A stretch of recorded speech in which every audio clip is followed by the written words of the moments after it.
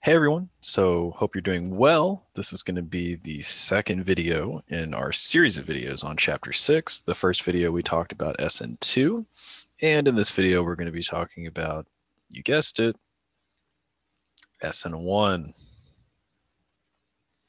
So if you just came from the SN2 video, or if you watched the SN2 video some time ago, you'll know that there's four specific things that we talked about for SN2. And just like in that video, I'm going to talk about four specific things for SN1. All right, so the first thing is the degree of the alkyl halide.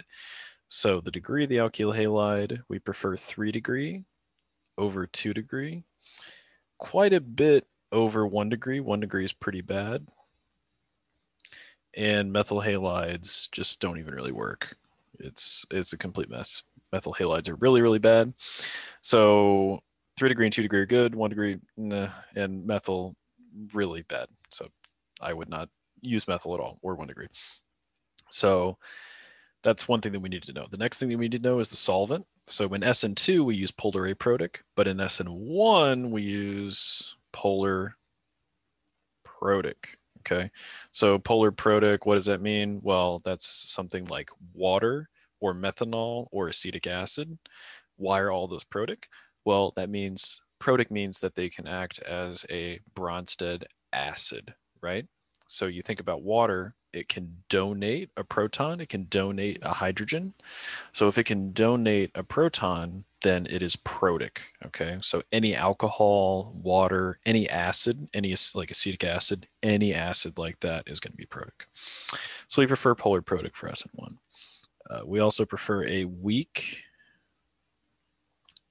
nucleophile. How do I know something's a weak nucleophile? Well, it has no charge. So a strong nucleophile has a negative charge, weak nucleophile has no charge. Okay It's pretty simple. And then last thing, we're going to talk about stereochemistry. We have a racemization, fun word, of the stereochemistry. So what does that mean? Well, it means that if I start with R, I end with R and S in my products. I get two products, R and S. If I start with S, I also end with R and S. Okay. Uh, if you want to think about it a different way, if I start with it on, if I start with my product on a wedge, then I end with my, or if I start with my reacting material on a wedge, sorry, then my product is going to be on a wedge and a dash, right? So let's look at a couple of examples here, and I think this will kind of have it make a little bit more sense. So I'm going to use my R2 bromobutane, right? So we're starting with an R reactant. And I'm going to be putting in water here, okay? So you'll notice I didn't write anything below the arrow. Typically, you write the solvent below the arrow, but I didn't write anything below the arrow because an SN1 is a solvolysis reaction. So a solvolysis reaction is any reaction that the nucleophile and the solvent are the same thing. So I'll say it again. A solvolysis reaction is any reaction where the nucleophile and the solvent are the same. So in this case, our solvent is water, but it's also a nucleophile at the same time, okay? So how do I know what the product is gonna be? Well, we're gonna get two products, but I'll worry about writing the first one first. So how do I know what replaces the halogen? Well, if I take a look at water, it's H2O, right? So this oxygen has two lone pairs on it. So oxygen is going to be the part that's going to donate the electron pair, right? So any part that's going to donate the electron pair, all I'm going to do is remove a hydrogen, pretend it's not there. So let's pretend this hydrogen's not here. So just remove one hydrogen. And then this is what I'm going to write, OH, right? So I'm going to take Br and replace it with OH. And then I'm going to write it on a wedge. But remember, I also need to write my other product where it's on a dash. So this one's R, this one's S. Okay, so I get both those products. Okay, so this is all I needed to do for an SN1 reaction. I'm done. Okay. Let's do one more example with a ring here. So we'll put, we'll put a chlorine on a dash. Sure, why not? And then we'll use methanol. So remember, methanol looks like this. So oxygen, again, is going to be my nucleophilic atom. So I'm just going to take a hydrogen off the nucleophilic atom, remove that hydrogen, and then this is what I'm going to write. OCH3 is what I'm going to write. All right. So all I need to do now is where the halogen was, write OCH3, and then write it on a wedge as well.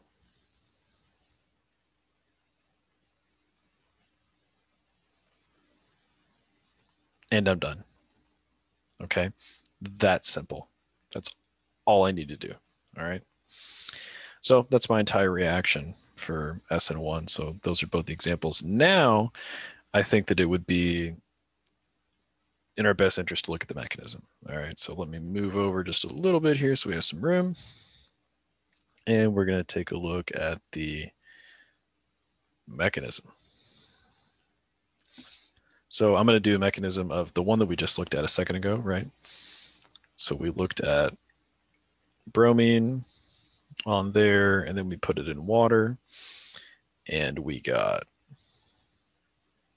OH on a wedge, and we also got OH on a dash, right? So we're going to look at the mechanism of this one, all right? So here we go.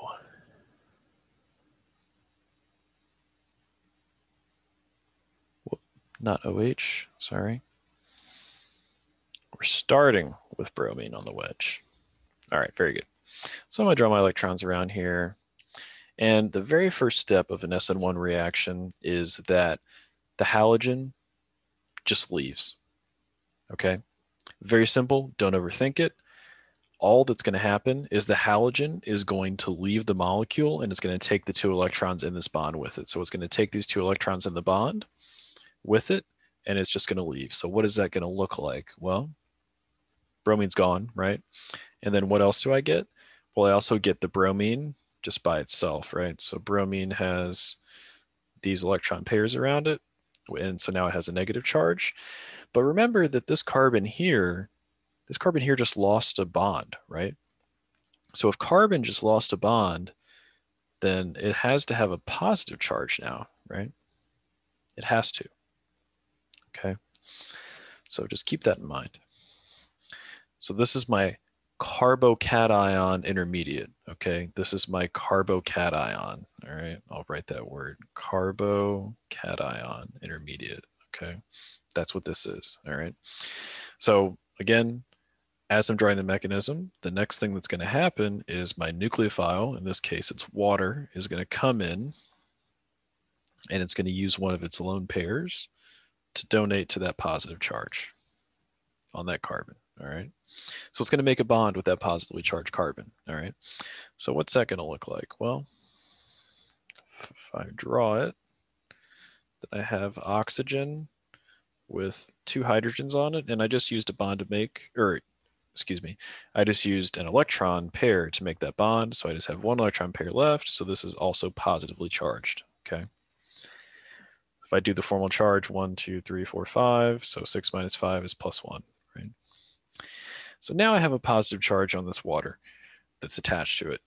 Any molecule does not want to have a positive charge, so having a positive charge is bad, makes a molecule unstable. So it wants to get rid of that positive charge. How is it going to do that? Well, remember that water is my solvent, right? I have a insane amount of water just floating around. So what's going to happen is an, another water molecule is going to come in. And water can act as an acid or a base.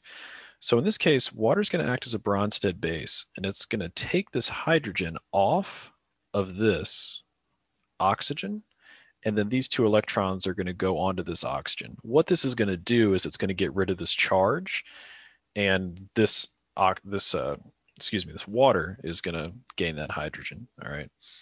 So this is going to be helpful for our molecule. So now I'm done. Okay, so I get the oxygen or the OH rather on a wedge, and I also get the OH on a dash, right? And then I also have a byproduct, right? What's my byproduct? Well, water, okay? But more specifically, it's water that gained a hydrogen. So what's water that gained a hydrogen? Well, that's hydronium, right? That's H3O plus.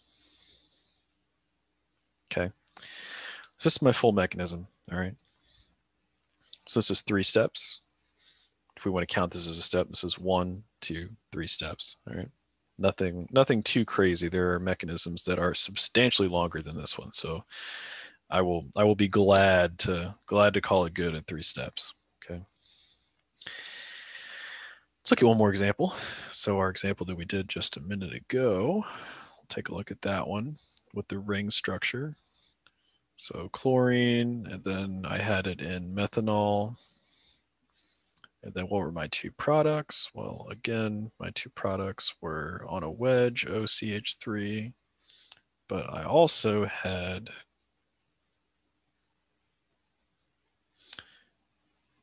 or that was on dash, sorry. This is on a wedge, OCH3. Okay.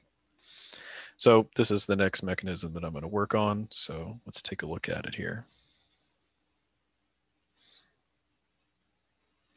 So we have chlorine. What's my first step of SN1? Ionization, which means that chlorine just leaves. Chlorine, chlorine says, see you later, I'm out of here. So chlorine leaves, and then what does that give me? Well, that gives me a positive charge on this carbon, right? And then what else do I have? Well, I also have chlorine just off by itself, right? Cl minus, okay? So now what's going to happen is, again, just like in the last one, my nucleophile is going to come in and attack. So I'm going to say CH3OH is going to come in and it's going to donate a lone pair and it's going to attack there at that positive charge. All right. So now what we get is similar to what we got last time, right? We get O bonded to a CH3 bonded to a hydrogen with one lone pair and it has a positive charge.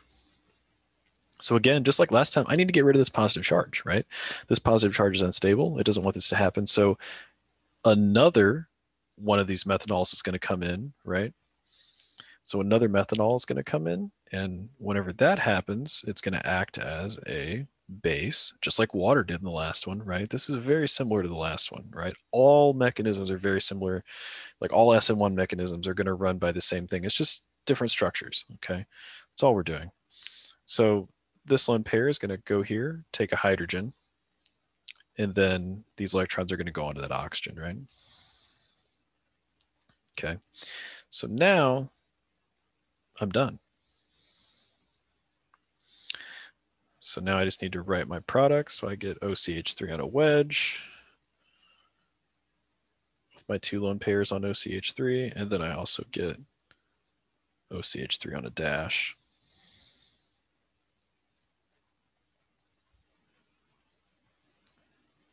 Okay.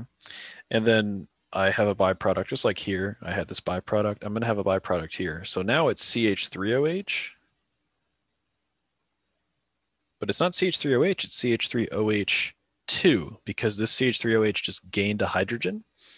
So it's CH3OH2, and I just have one lone pair on it now, and this has a positive one charge.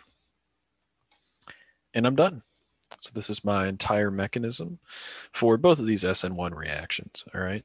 There are other things that can happen in SN1. We can have a hydride shift, we can have a methyl shift, and we can have a ring expansion. I'm going to designate each of those for their own specific video. I think that that's the best way to go about it. I don't want this video to be 40 minutes long. So I think that that'll be the best way to go about that. So hopefully this was helpful. I do appreciate you watching and I hope to see you in the next videos.